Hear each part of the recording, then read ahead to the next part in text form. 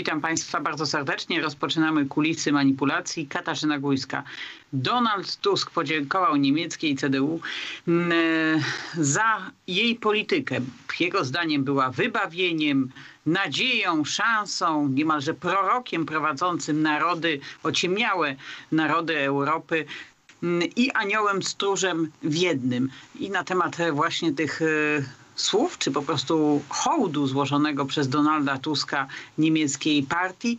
E, będziemy, będę rozmawiać z Państwa i moimi gośćmi. Jest z nami Iwo Bender, witam bardzo serdecznie. I jest z nami Jacek Kliśniewicz, witam. Dzień dobry, witam serdecznie. No to w takim razie zaczynamy. Donald Tusk dziękuje e, CDU za walkę z autorytarnymi tendencjami i populizmem. No, można się zatem mm, domyślać, że chodzi tak naprawdę o walkę z prawem i sprawiedliwością. Bardzo proszę.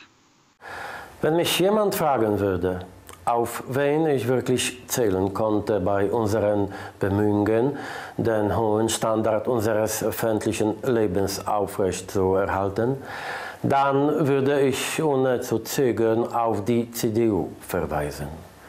Es ist in hohem Maße euch zu verdanken, dass Freiheit, Ehrlichkeit, Transparenz, Wahrheit und Vernunft nicht verloren haben im Kampf mit autoritären Tendenzen, mit Korruption, Lüge und Populismus.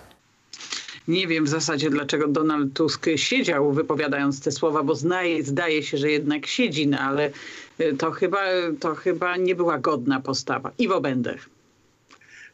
No cóż, y, wydaje się, że, że to było wręcz takie y, no, sytuacja, no wręcz powiedziałbym, z pogranicza religi religijnego, powiedzmy, pewnego takiego zachwytu. No, mówiąc zupełnie poważnie, no jest, to, e, e, jest to smutne, kiedy były premier Polski e, wygłasza no właściwie wiernopoddańczy adres, chociaż mieliśmy do czynienia z nieco niższej rangi politykiem tej formacji, który taki adres już swego czasu, już swego czasu wygłaszał.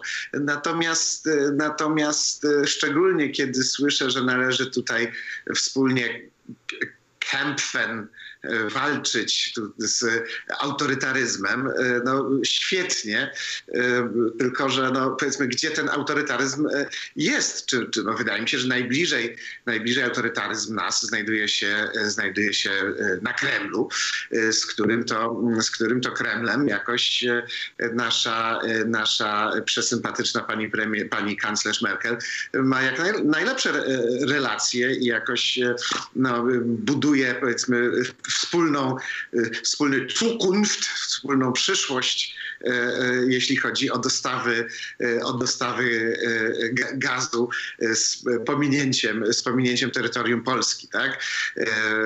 Także no, jest to zastanawiające, trochę przykre, tak z ludzkiego punktu widzenia przykre, no bo jednak zmarginalizowany dzisiaj Tusk, być może marzący o powrocie do, do polityki polskiej w ten sposób no, nie tyle sygnalizuje, co wręcz mówi halo, halo, jestem, jestem, w razie czego ja tutaj będę gotów, gotów e, działać, tylko proszę w ramach, w ram, niech mi CDU CDU po, pomoże, dodajmy CDU, czyli chrześcijańscy demokraci e, e, i przypomnijmy, że w 90 bo 91 roku e, to właśnie owi chrześcijańscy demokraci już na niwie europejskiej zmienili nazwę, chrześcijaństwo wyrzucili do kosza i stali się Europejską Partią Ludową. Taką, taką dla, dla wszystkich, dla, dla ludu, dla ludu. Także... No, no właśnie, ja dlatego też użyłam tego określenia, że Niemcy niemalże jak prorok i anioł stróż w jednym, że prowadzą te ociemniałe ludy Europy, no szczególnie tej środkowo-wschodniej, ku tej świetlanej przyszłości i dlatego Donald Tusk, nie wiem, no mnie jednak wydaje mi się, że ta, przekaz tego przemówienia jest taka, no, że co najmniej powinien wstać no nie wiem, czy bardziej nie, nie na kolana się rzucić, żeby to było takie bardziej szczere jeszcze. No ale z tym autorytaryzmem to jest tak, że y, zależy, co Donald Tusk ma, znaczy jak rozumie autorytaryzm, bo jeżeli autorytaryzm to jest y, to, co y, na przykład przeszkadza albo staje w kontrze wobec polityki CDU, no to wtedy ta sprawa wygląda inaczej i na przykład na Kremlu nie ma żadnego autorytaryzmu albo jest niewielki, a w Warszawie no to się szerzy. Jacek Liźniewicz. No i z pewnością o to chodzi. No tutaj rzeczywiście, gdyby może, może tak rzeczywiście jest, że w Niemczech jest jakiś ichniejszy Matejko i namaluje taki obraz, w którym e, Donald Tusk przemawia do zebranych e, na sali e, działaczy partii CDU. No ciekawe, no, to, ja to zawsze trochę pamiętam taką sentencję, że jak się mówi o tym, że wszystko co po łacinie powiedziane brzmi mądrze, to tak tutaj no, ten niemiecki w, w ustach Donalda, Donalda Tuska no, brzmi jak brzmi, no, biorąc pod uwagę tą historię y, i to, co Donald Tusk y, przez, przez lata reprezentował też w polskiej polityce, no to tutaj to no, brzmi po prostu jak, y, jak taki współczesny hołd pruski, no, no, tylko, że, tylko, że polski, w, znaczy polski, tuskowy w, w, Berlinie. No to niestety, niestety tak to wygląda. Na co do walki z autorytaryzmem, no to, no to, no to wiadomo, no najbliższy, jeden z najbliższych współpracowników Władimira Putina w, w Europie, czyli czyli Angela Merkel i rząd niemiecki, który no, dybie na to, żeby dokończyć Nord Stream 2, które no, będzie wprost, którym wprost będzie mogła Rosja szantażować całą Europę, jeśli chodzi o dostawy gazu. No wiadomo, no, tutaj autorytaryzm w żaden sposób nie, nie przeszkadza. Dzieje się to w momencie, kiedy. kiedy nie, bo tam po prostu nie ma autorytaryzmu. Ja naprawdę, naprawdę wydaje mi się, że Donald Tusk mówiąc autorytaryzm ma na myśli coś zupełnie innego. No a dlaczego tak mi się wydaje? No to spójrzmy teraz też na kolejny materiał. Bardzo proszę. Volkswagen przez 7 lat nie informował mediów, że jedna z jego fabryk znajduje się w sąsiedztwie obozów pracy w chińskiej prowincji Xinjiang. Wszystko wskazuje na to, że pracowali w niej więź więźniowie z obozów pracy i jeżeli narysujemy okrąg o promieniu 30 km wokół fabryki Volkswagena zobaczymy 25 więzień i obozów. W całym regionie badacze udokumentowali prawie 400 takich obiektów. Do obozów tych mogło trafić nawet, uwaga, e, milion osiemset tysięcy Ujgurów. Czytamy w artykule Die Zeit. To jest grudzień, e, to, to, to jest grudzień 2020 roku. No właśnie, no zdaje się, że naprawdę ten autorytaryzm to, to my inaczej rozumiemy niż e, pan Tusk, no bo widać, że Niemcom na przykład e, system polityczny i sposób traktowania ludzi w Chińskiej Republice Ludowej w ogóle nie przeszkadza. Nawet wprost przeciwnie, potrafią kooperować i jakieś profity z tego e, wyciągać, bo tutaj więźniowie pracują na rzecz Volkswagena i Wobender jeżeli mamy się trzymać tak e, łacidy, no to pecunia non olet, e, pieniądze nie, nie śmierdzą, tak? E, jak trzeba było opodatkować, opodatkować urynę, to Rzym i urynę opodatkował, no bo pieniądze nie śmierdzą. I, i cóż, mamy, do, do, mamy dość typową hipokryzję. Nawet nie chciałbym, nie chciałbym wchodzić już w początki Volkswagena i dlaczego Volkswagen nazywa się Volkswagen. E, dodam tylko, że e, była taka ideologia, która się nazywa folkizmem, e, powiedzmy w końcu XIX, na początku XX wieku. I jaka ideologia z niej wyrosła i dlaczego gloryfikowała ów folk i dlaczego ten folk miał mieć swój wagen. Tak? I, i że no, dziwię się, że ta, ta, ta firma nie zmieniła nazwy swojej po wojnie, bo na przykład taki Jaguar angielski przed wojną nazywał się SS. No i jednak uznano, że po wojnie to trochę słabo brzmi. E, no i cóż, e, to jest dość taka, dość, dość, dość przykra historia i takich jest, jest więcej. E, po prostu w, w interesach wielkich, naprawdę wielkich nie ma sentymentów, a to, że, a to, że Ujgurzy są prześladowani, to, że Ujgurzy są wynarodowiani, to, że, to, że komuniści są źli tak, że tak już mają.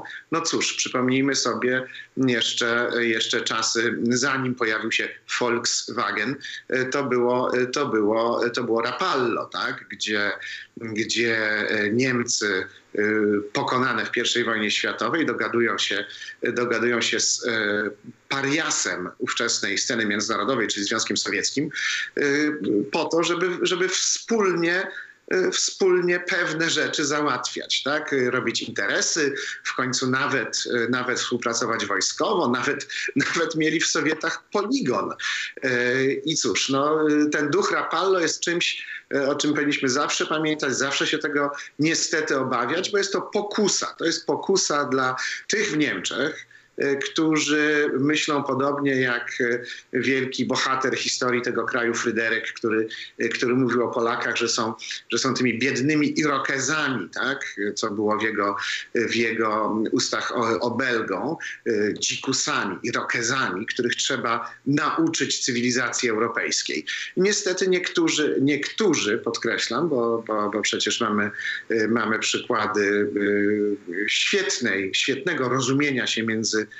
dobrymi Niemcami, dobrymi Polakami, ale niestety w, w, wśród, wśród części elit niemieckich takie spojrzenie e, na, na Polskę i świat e, i cały czas pokutuje. Myślenie zresztą nie, nie, nie tylko e, z Niemcami związane, bo przypomnijmy, że i Francuzi mieli swoją misją civilitrice, tak? czyli mają ucywilizowywać świat. Anglicy mieli swój white man's burden, czyli jarzmo białego człowieka, że to tak ciężko, że trzeba do tych Indii pojechać i tam cywilizować i, to, i, w, tej, i w tej Afryce Południowej też trzeba wszystkich cywilizować na swoją modłę. No, y, różni chcą nas cywilizować, y, a my znajemy swoją, y, swoją wartość i, nie, nie, nie dawajmy się, kiedy Polska będzie krajem zamożniejszym, nie dawajmy się pokusie, że można robić interesy z, z bandytami, jeżeli to się opłaca. No, na dłuższą metę to się nigdy nie opłaca.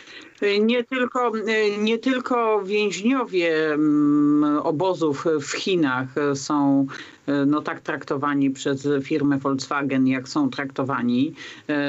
Przypomnijmy, że oprócz tego, że to są ludzie, którzy po prostu mają status niewolników i jak widać firma niemiecka bardzo ważna dla niemieckiego państwa i myślę, że gdyby niemieckie państwo uznawało, że to jest coś złego, to ta firma tam by w taki sposób nie działała. Firma Volkswagen no nie tylko wykorzystuje ich e, pracę, no ale też powinna mieć świadomość, że, że w Chinach e, ci, którzy siedzą w takich obozach pracy, no oprócz tego, że są niewolnikami, to są też wykorzystywani jako dawcy narządów i e, wiedza na ten temat jest już tak powszechna, że myślę, że jest łatwo dostępna i dla Donalda Tuska, a i również dla tej wychwalanej przez niego CDU. No ale okazuje się, że również polskich pracowników e, Volkswagen traktuje e, no, nie w taki sposób, jak zdaje się powinien. Poproszę o kolejną planszę. Lewicowy Związek Zawodowy, Inicjatywa Pracownicza przy Volkswagen Polska o wyzysku Polaków właśnie. Pracujemy dłużej i ciężej niż Niemcy. Każdy miesiąc pracy w polskich fabrykach jest równy 5 tygodniom pracy w niemieckich fabrykach Volkswagena. Do tego dochodzi wyższe tempo pracy. Każdy z nas pracuje więc niemal dwa razy więcej niż nasi koledzy z Niemiec, lecz za uwaga jedną piątą ich pensji. O tym pisze Pisało, y, pisała inicjatywa pracownicza przy Volkswagen Polska y, pod koniec sierpnia 2020 roku. Jacek Liźniewicz. No tak, no Polska jest wygodnym, y, wygodnym partnerem dla Niemiec i tutaj odbywa się na wielu poziomach mm, pewna kolonizacja. Znaczy to bardzo ułatwił ją oczywiście rząd PO-PSL w zasadzie wtedy chociażby przykład e, polskich stoczni. No i tutaj no nadal, jak widać, e, ta, e, widać po wypowiedzi Donalda Tuska, no ta taka uległość wobec Niemiec jest czymś dla wielu...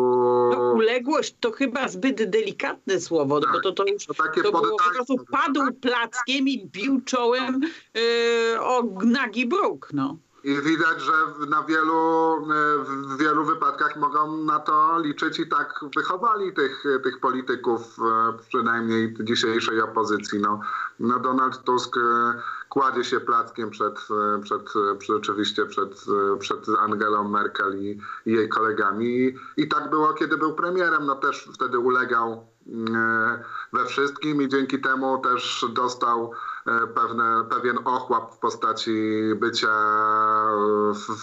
istotnym, czy też przewodniczącym Rady Europejskiej, a teraz, e, teraz szefem e, Europejskiej Partii Ludowej. No to jest, to jest coś, co jakby przybiło ten sojusz i, i, i sprawia, że Donald Tusk no, będzie będzie do końca świata i jeden dzień dłużej e, wierno poddańczy wobec Niemiec. I rzeczywiście brnie, brnie w tym kierunku, ale o tym już porozmawiamy dosłownie za chwilę, bo Donald Tusk rozpływał się o błogosławieństwie dla Europy. Kto jest zdaniem Donalda Tuska tym błogosławieństwem?